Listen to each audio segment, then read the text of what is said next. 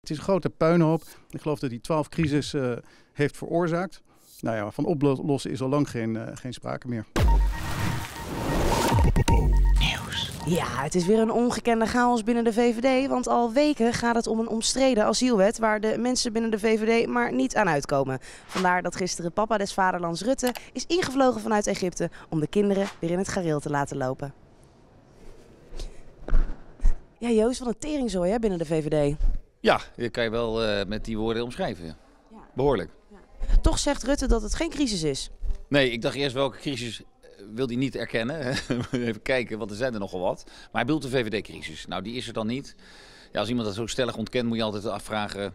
Zou er niet toch wat, uh, wat smeulen? Is er crisis binnen de VVD? Nou, ik hoop het wel. Ik, het, mag nu na twaalf jaar weer eens een keer crisis uh, worden. Ze hebben altijd beloofd een asielstop, het opzeggen van het vluchtelingenverdrag uit 1951, uh, illegaliteit strafbaar stellen, veilige landers het land uitgooien. En wat doen ze twaalf jaar lang? Uh, niets. Gewoon honderdduizend mensen per jaar naar binnen laten. Rutte is natuurlijk gisteren terug moeten komen vanuit Egypte. Omdat uh, ja, Sofie Hermans het niet uh, lukte om de fractie uh, dezelfde neus de, dezelfde kant op te zetten. Wat vind je ervan? Nou, ik hoorde hem zeggen um, dat er, hij vond dat er te hoge instroom was. En dat het daarover ging. Moet je daarvoor terugkomen uit Sharm el-Sheikh?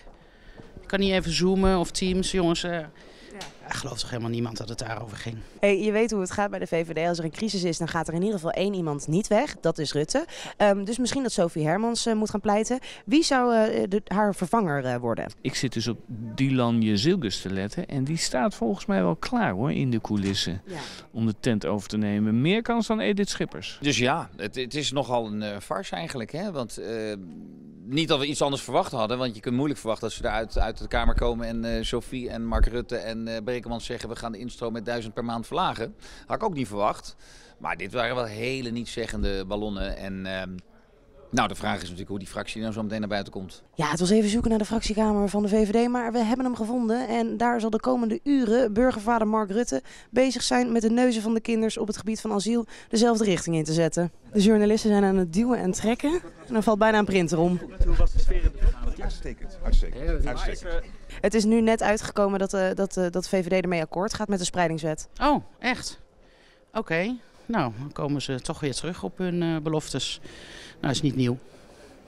Het is niet nieuw hier hoor. Dat gebeurt al vaker. Daar zullen de leden niet uh, blij mee zijn met het feit dat ze ja, toch nu voor hebben gestemd op die spreidingswet. Dat zou kunnen. En dan is het ook nog zo suf dat ze er echt er helemaal niks voor terug hebben gekregen. Want ze zitten dus al dagenlang Nederland in spanning te houden van... Uh, we weten niet of we dit kunnen steunen. En, en nu, na urenlang vergaderen, komt Rutte naar buiten. Ja, we gaan nadenken over beperking van de instroom. Man, dat doe je al weken met het kabinet. Het is echt niks nieuws. Het is een flut toezegging. Sophie Hermans kwam er niet uit met de asielwet bij de VVD-fractie. Toen is uh, ja, oppervader Rutte uh, teruggefloten om uh, alle neuzen van de kinderen dezelfde richting op te zetten. Wat zegt dat over zo'n fractie?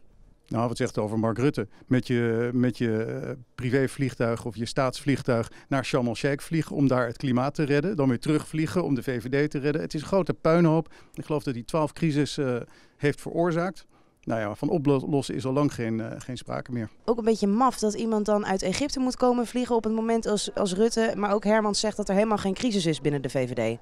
En dat is slecht voor het klimaat? Niet te geloven. Echt. Dus ja, nee, dit is een. Uh, ja, normaal heb je een win-win situatie. Dit is echt een lose-lose situatie van hier tot Egypte. Leuk, heel leuk. Is de VVD in een crisis? Um, ik denk wel dat, er, dat ze in een crisis zijn, ja. Want dit gaat bij de achterban niet goed vallen. Nee. Lekker voor jou weer, hè? Ik ben heel benieuwd naar hun congres. Ik denk maar even VVD-lid gaan worden, dan kan ik erheen. Ja. Jij gaat zaterdag lekker aan de zuip. dat durf ik niet meer te zeggen. Nou, hup, stemmen. Opschieten. Waarschijnlijk. Opschieten. Wil jij nog meer fantastische video's? Dan schijnt hier een button te zitten. En hier ook. Moet je even op klikken. En even gauw. En hier zit er ook nog één, denk ik. Zoiets. Dus doe dat even. Dankjewel.